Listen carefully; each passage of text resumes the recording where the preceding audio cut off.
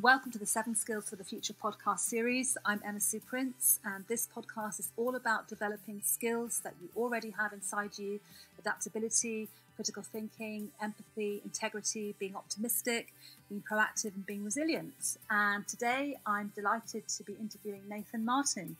Nathan is Director of Global Thought Leadership at Pearson and he's a key leader and contributor to the Pearson 2030 research into future jobs. So I'm really interested in talking to him about the skills that we need for the future.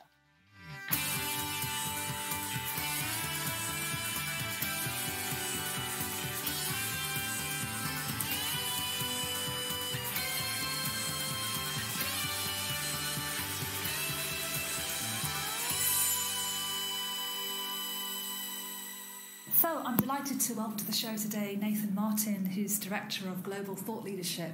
Great to have you with us today, Nathan. Thanks. It's really lovely to be here. And lovely to chat about this important topic. Yeah, so I'm really excited to know more about the future of work uh, research that you've been doing. Um, just tell us a bit about that work. Yeah, so this piece of research came um, has its origins a few years back. Um, back in 2011, where two researchers from Oxford, um, Frey and Osborne, had produced a piece of research looking at the risk of automation and looking at what that would mean for the future of work. And this piece of research um, uh, kind of was a bit of a bombshell within the uh, in both the media and the ed- education and academic space because it predicted that up to 40% of jobs could potentially be automated, which really left a lot of people very fearful and scared and, and sparked all of these sort of headlines around, you know, are the robots coming to take your jobs? What, what's going to happen on that front? And that piece of research was very important. Um, but at the time, particularly as an education company and the team that we were working with, you know, we, we thought it only told one part of the story. And in fact, uh, Mike Osborne, who was one of the researchers at Oxford, also felt that it only told one part of the mm-hmm. story and was a bit. Um, kind of felt like that the the coverage, as it often does, didn't tell the whole story mm-hmm. of even the research and what it was trying to do. And so mm-hmm. we had the opportunity to say, you know, we think it's really important to make sure that we understand where we're going with the future, not just of education but of work, and make sure that the skills and the things that students are learning in the classroom um, will really prepare mm. them for the world of work and how it's changing. Mm. And so we had the privilege of getting to work with um, Nesta and Oxford and, and to combine and look not just at automation, but look at how other trends that are going to be impacting mm-hmm. future work, things like uh, climate change, things like mm-hmm. people are living longer, so an aging populace, um, just uh, in, excuse me, urbanization, so the fact that mm-hmm. people are moving into cities and mm-hmm. what that might mean, um, and even things like political unrest. And this piece of research was done before um, the current U.S. president was elected and before uh, uh, Brexit, so uh, you can mm-hmm. imagine that it's only sort of accelerated. Um, and what happened was we brought a group of experts together um, who, who came together to say how would they think these trends might impact yeah. it, looking at the past. But then they also looked and said, you know, what sort of skills that are underneath these occupations mm. are most mm. um, likely to still be in demand and be resistant now that's to automation. what we're really interested in. You remember the skills. All those skills, yes. Yeah, so so what the skills that we, we, hear them and they're brought up numerous numerous times and they're things like uh, fluency of ideas. So fluency of ideas um, is the sort of the ability to come up with many different ideas when you're faced with a problem. My favorite example is that a friend that was on the show, uh, Taskmaster, which people mm-hmm. seem to really enjoy, and it's a great example of fluency of ideas. They're faced with these problems and they come up with kind of wacky and um, brilliant ways of solving those problems, and that's actually a skill that machines aren't really good at. And so, if you have the ability to come up with many different ideas, yeah. then your like your job, and if that's part of your job, it's likely to be in demand. Other things might be um, the ability to sort information, sort of analyze it. Mm-hmm. Um, things that are not um, based on movement, so you know, be able to move a lever from one point to another. That's something that would be able to be automated. Mm-hmm. But those other skills are less likely. So it's the sort of the human traits. Yes. Um, you hear yeah. things like problem solving, um, the ability to work with other people. Um, and those are the skills that are most resistant to yeah. automation. Yeah. And I mean, our education system do you think that we are equipping young people with these sorts of skills? I think we are. I think we are in pockets. Um, mm-hmm. I, you know, I'm sure it's the same for you, but we have the pleasure of getting to visit schools both in the U.S. and the U.K. and around the world where um, people are doing amazing work. I was up in um, Block some um, a week or two ago, and they're actually redesigning their curriculum to try to think about how they could best prepare for the world of 2030 and really encouraging students to do things like pra- very practical and not just say, hey, I'm going to go to a university when I graduate. And so I do see that in pockets. Yeah. I'm not convinced that on a systemic level that we're doing a great job of that. Um, but I do think teachers and schools are are aware of those things that are important are trying to do it but we can do more to support yeah. them. But that's encouraging to hear. That it, it is, and I think it's yeah. it's very easy to sort of, and I think that was even the point of the research was that yes, the world of work is changing, but it's not. Being human is still really mm-hmm. important, mm. and so we need to make sure that we don't just uh, sort of resign ourselves mm. to our fate. And I think it's the same thing with education. It's really easy to paint a negative story of what's happening and I think teachers are under a lot of pressure, but yes. uh, but there are still people doing amazing work around yes. the world, and it's the same thing with things like the NHS or other mm-hmm. services. They have pressures, but there are people doing amazing yeah. work and innovating. And it's important to celebrate some of those stories, isn't it? Have it you is. come across um, any yeah. success stories you yeah, can share I, with them? Of course, yeah. So I think um, one school that we do a a bit of work with here in London is um, called School 21, which you may or may not be familiar with. Um, it's featured in a book with Charlie Leadbeater that we did called Problem Solvers. And they do a really brilliant job. They, they serve students who come from sort of all backgrounds. These are not sort of the uh, most affluent. These are students who English might be their 2nd mm-hmm. language. Mm-hmm. But they do a brilliant job of balancing knowledge and sort of the importance of facts, of learning those things, but also with real world experiences and real world learning. Um, and so they have this idea of creating beautiful work for authentic audiences so that you're not just doing homework, but that you're mm-hmm. creating things that would stand up and, be, and show, show off in the world. And so they encourage kids to um, do drafts, to work with mm-hmm. experts. And so we're actually getting to work with them on a, another podcast series that we're doing with Nevertheless, where they are actually creating the podcast themselves. And we're, men- and so we're mentoring them a school in South Africa and actually a school in Virginia, and so it's yes. it's been really awesome because we have a team of experts that have helped do some mentorship, but we've actually turned over the keys to them. Yeah. And these students are coming up with really brilliant ideas, and so those are the things that get me most excited. Yeah. And I'm sure it's the same for you is when you get out of the office and you get to see some of the kids that are coming up with brilliant ideas. Yes. So is that a podcast series our listeners can access? They can. It's the Nevertheless. It's on your iTunes. It's on. You can go to a website, neverthelesspodcast.com, and there's great work with um, amazing experts around the world, and hopefully we'll be able to share some of the audiences and share enjoyment with you. Fantastic, great. Now, my book, Seven Skills for the Future, as you know, it focuses on seven skills empathy, adaptability, integrity, critical thinking, being proactive, being resilient, and being optimistic. Great. So it's those seven. Um, tell us a little about how that might relate to no, I think those those things are definitely things that we're seeing that emerge from the research. Things like resilience are incredibly important, mm-hmm. and I'm sort of reminded, you know, this idea of having one job that you mm-hmm. do for your entire life.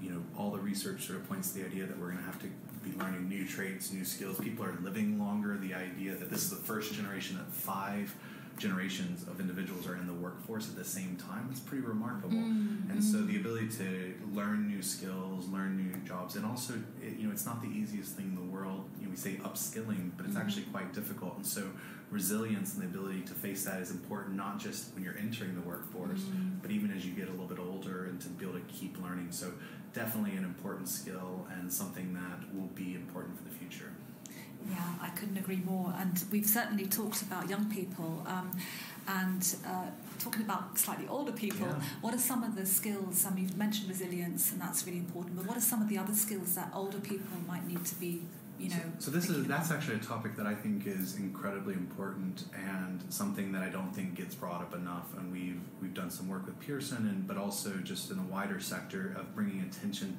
to sort of ageism and some of the, mm. the, the areas. It's it's not as sexy as some of those other topics, but actually, um, older people contribute a, a ton to the workforce and it's something that a lot of the skills that they bring are ones that are uniquely human. So you, what you often find with people who've been in the workforce for a longer period of time is that while they may not be quite as versed on the newest um, bit of technology mm-hmm. or innovation, they do have these soft skills that computers that uh, mm-hmm. things can't um, have. They have this ability to work with people. They have the ability to communicate. And so I think for, for older individuals, when you look at what it takes to stay employable, it's actually very similar to the to people who are coming into the workforce mm-hmm. for the same mm-hmm. time. And so I think it takes people who are willing to be curious, who are willing to learn, who are willing to just put their hand up and say, "Hey, I don't know." And I think that's something important whether you're entering the your um, first job or whether you're in your fourth or fifth Yes. job. Yes. Be, and and what's really important as well, not just for older individuals, but also for employers, is that we do a better job of helping to Mm-hmm. support that, and also making sure that we don't let sort of bias subtly creep in there, Mm. because you know diversity is not just about gender, it's not just about um, race, it's also about making sure we get the best out of everyone. Mm. Do you think we'll see a, um, a rise or a comeback possibly of more mentoring in the workplace? I, I hope so. We do. We've we've had the privilege of getting to work with a great group of people at um, Network Rail who do some really awesome work with apprenticeships and really invest there. And they're working to try to make it easier. I forget what the name of the program is. We can we can find it later. Um, where makes people who've left the workforce make Mhm. it easier for them to come back and do mentorships, be able to provide some of that experience Yeah. they would have. You know, the idea of engineers who have um, maybe been out of the profession for a little bit, they have tons of skills Yes. and sets. And so I think not just in engineering, but in other professions, mentorships are, are Yeah. very, very important. And it's particularly important in education and think about how we, you know, a lot of times those are the individuals that understand what. Um, in what, what homework looks like in reality can help Mm, translate mm. those things for students. Mm. And what do you think about reverse mentoring? So young people. I think it's one of the supporting one of my one of the things that I think is most interesting when we think about um, problems of technology and how we think about it. There's a lot of discussion around screen time and about, for example, Yes. like how students um, maybe spend too much time on their phone. And I think that's right, and parents should think about that. But I actually think a lot of times we have a lot that we can learn from younger Mm-hmm. individuals because they're actually wrestling with these questions just as much as we are. And so, one of the things that we try to do with this uh, podcast series is actually say the best thing that we can do is start a dialogue about these issues. And so, it's trying to move from a state of fear to a place where we can have a conversation. You know, one parent said that she brought her student, her her kids in, and said you know, let's just put Snapchat up on the screen. You can tell me what does this do? What does this do? Mm. And it's not so much trying to be invasive, but it's just trying to ask questions. And so if you can create that dialogue where you're both learning together, it means that some of those maybe soft issues that um, students or about younger people might need support in, like how to navigate those things, Mm. that they'll feel like they can ask those questions because they're seeing that it's a two-way, reciprocal, and Yes. respectful street. Yes, I'm going to try that with my son. He's 11 and he's. We've been holding out getting him a mobile phone, but I well, think it's I've on the uh, horizon. my, my, I'm, uh, I, I have uh, little brothers that are still at home, and so I always try to encourage my father when it comes to things like I'm sure you guys hear Fortnite, you know the video Mhm. game, and I try to encourage my dad to to engage in a dialogue and not be so fearful about it. And it pay, Yeah. it does pay dividends because if you are if you operate from a position of fear, um, children or students will retract and they'll hide, Mm, and that doesn't help anyone out because then these issues just come up in other ways. Yes, yes. So looking ahead to 2019 and beyond and going up to 2030, what are some of the plans that you guys have?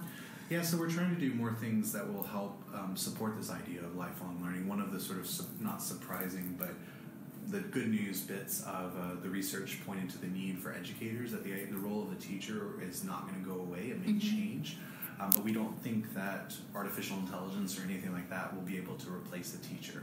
And so, while teachers' roles are going to change, we're going to need to do a better job of supporting it. So we're Mhm. trying to think of how our um, tools and technology can better align with what's happening in the classroom. Mhm. We're trying to create better on roads for people to have those upskilling opportunities. So that means, um, you know, being able to get new credentials, new training. In the U.S., there's a, a really amazing program where it allows people who work at uh, restaurants like uh, Maggiano's or Chili's, kind of uh, you know family type restaurants, to be able to get their associate's degree, to get their sort of creden- basic credentialing that's really important for free with local community colleges, so that the employer picks up the tab for that and it makes it and they have support. And so I think we want to be a partner that helps provide that link between the employer and the university. We can't replace the university Yeah. either, but we can provide the connective tissue. And so Yes.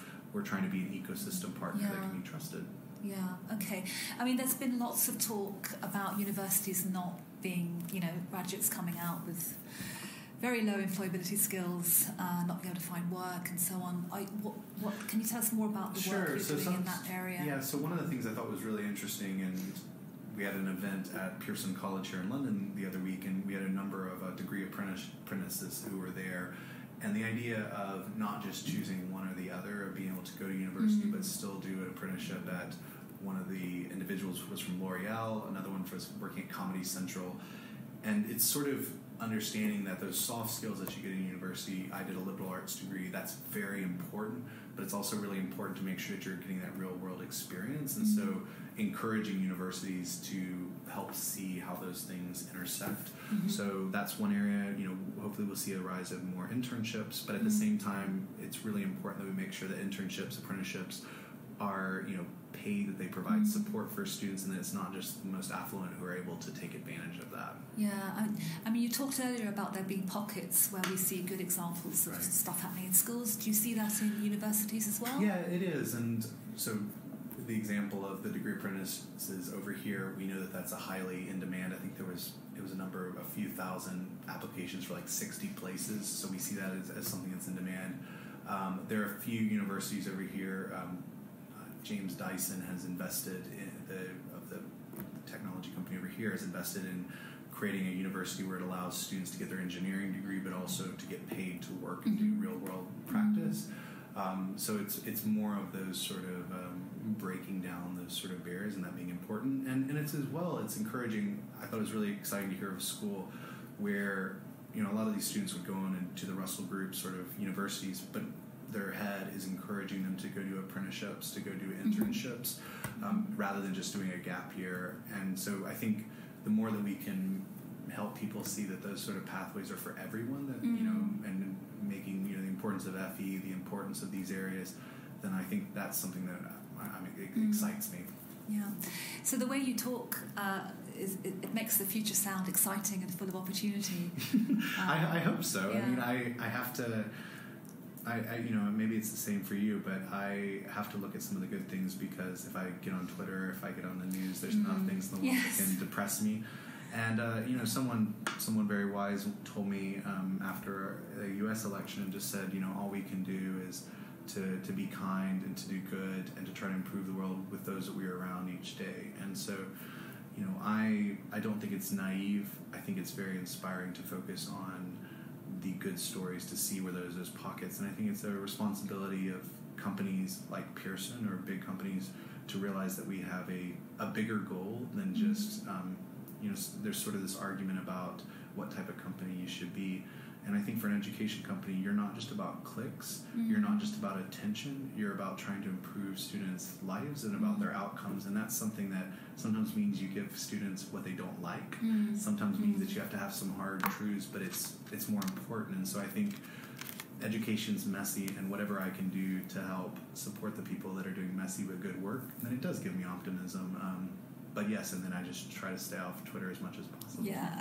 that's so great. That's really good to hear you say, and I, and I agree with you so much about uh, so many of the things that you've been talking about. And I know our listeners will want to find out more about the 2030 research yeah, so it's, it's, doing. So you can see it. It's on futureskills.pearson.com, mm-hmm. and you can go on and you can actually you can explore the research in a traditional way, but you can also go in and enter your age, which um, may or may not be scary, and it'll tell you what how old you'll be at 2030. oh, that is, that is, actually quite scary. It's for scary me. for I think everyone, um, and it'll and you can see what your occupation is, and it'll also tell you what are the skills that you should be cool. going okay. and looking after, and to, to make yourself more employable. Okay. Yeah. And so I think you know the biggest thing is that you know the future can be optimistic. We yeah. need to take responsibility for. And the other thing I would just stress that I don't think I've said is just the importance of arts, the importance of the you know these these sort of areas that often get siloed. Mm. And that was part of the reason we wanted to do this research was because it highlights that importance, but it's, it's part of a multidisciplinary process rather than just being in isolation. Thank you so much, Nathan. Can you just give us that website sure. again? Futureskills.pearson.com. And you can also listen to this podcast at neverthelesspodcast.com. And uh, yeah. Thank you so much. So uh, that was my guest, Nathan Martin, Director of Global Thought Leadership at Pearson. Thank you, Nathan. Thank you. It's lovely to be here.